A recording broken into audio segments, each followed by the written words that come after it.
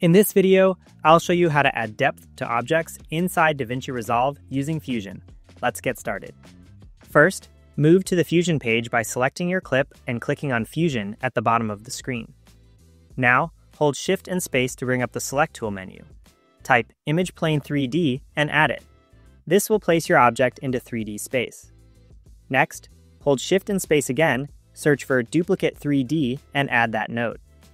With the duplicate 3D selected, open the inspector on the top right. Increase the number of copies to around 100, then adjust the Z offset to about 0.02.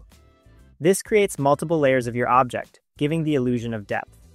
To control how the object moves in 3D space, go back to the toolbar, search for Transform 3D, and add it.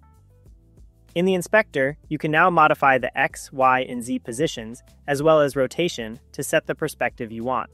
For a clearer view, click the small grid icon at the bottom of the transform node to activate the 3D grid. This helps you see how your object sits in space. Finally, hold Shift and Space one more time, type Renderer 3D, and add it. Connect the Renderer 3D output into your Media Out node. This step converts the 3D effect back into a 2D image so it can appear in your final edit.